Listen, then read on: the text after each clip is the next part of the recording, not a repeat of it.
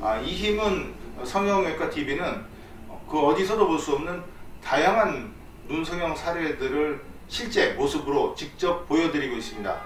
아, 옆에 계신 분은 쌍꺼풀 재수술을 받기 위해서 저를 찾아오신 분인데요.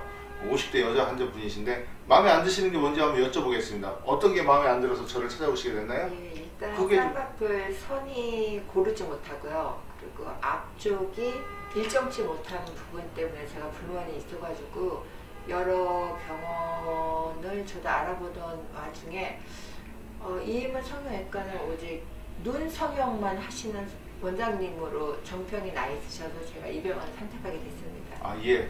자, 그 환자분이 저한테 거는 기대가 많은 만큼 제 그 아주 많은 경험과 제 노하우로 최선을 다해서 해드릴 계획인데요. 간단하게 설명만 드리면 저기 한번 보시면요. 지금 꺼져 있는 부분이 있고요. 그리고 어, 선 자체가 이렇게 노출되어 있습니다. 그리고 눈이 전체적으로 부리부리하고 대칭도 물론 안 맞고요.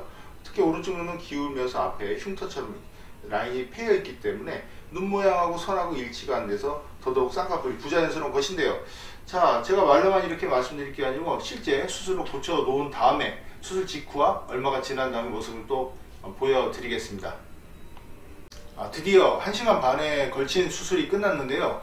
어, 제가 수술하고 느낀 것은 어, 제 생각보다 잘 됐다. 저 개인적으로 그렇게 생각합니다. 제가 한 수술이지만 어, 결과가 수술 직후 결과가 아주 좋다. 그런 생각을 합니다. 왜냐하면 지금 여기 보시면 이렇게 꺼진 부분이 다 교정이 됐는데 지방 이식하지 않고 지방을 옮겨서 약간 도톰하게 교정하는 건 쉬운 일이 아니거든요. 물론 나중에 조금은 들어갈 수 있습니다. 왜냐면 붓기가 있으니까. 그, 리고 또 한 가지 잘된 분은 잘된 부분은 눈이 이렇게 둥글게 내안각부터 둥글게 교정됐고 아, 내안각에 있던 앞트임 흉터가 많이 개선돼 보인다. 이런 점들입니다. 수술할 때 좀 불편하지는 않았어요? 예, 저는 뭐 없이 불편함은 없었어요. 예. 아프지도 않았고. 아, 이 환자분이 아주 편안하게 수술을 받으셨다고 합니다. 그러면 저희 실 뽑는 날 또 찾아뵙겠습니다. 아, 오늘 드디어 실을 풀었습니다. 자, 일주일이 딱 돼서 오셨는데요. 어, 저는 들어오시는데 다른 분인 줄 알았어요. 왜냐면 얼굴이 너무 이쁘고 젊어 보이, 보이 셔서 그런데요. 자, 본인은 어떻게 생각하시는지 한번 어떻게 좀 좋아진 것 같아요? 예, 저 수술 전에 제 눈은 항상 뭔가 이렇게 좀확 눈을 가, 덮인 느낌 그런 느낌이었는데 수술 후에는 동안 효과까지 있어서 물론 우리 원장님의 명성은 제가 들어서 알고 있었지만 이렇게 동안 효과까지 쌍꺼풀 수술 하나에 가질 줄은 정말 몰랐고요. 기대 이상으로 잘해주셔서 정말 우리 원장님께 감사의 말씀 드리고 싶습니다. 아 정말이죠? 네. 아 예, 제가 그런 말씀을 드리니까 너무 기쁜데요. 어, 결코 이거는 저희가 미리 대본을 짜놓고 네. 하지 않는다는 걸 말씀을 드리겠습니다.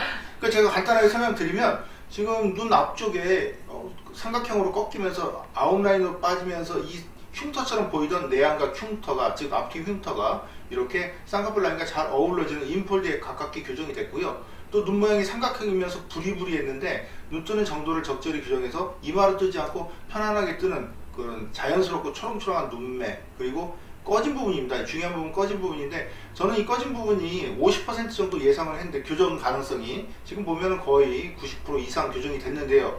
물론 조금은 더 들어갈 수 있습니다. 그렇지만 어, 이렇게 어, 많이 교정이 됐습니다. 그래서 전체적으로 정말 동안처럼 보이고 얼굴형에 맞는 자연스러운 눈이 됐는데요.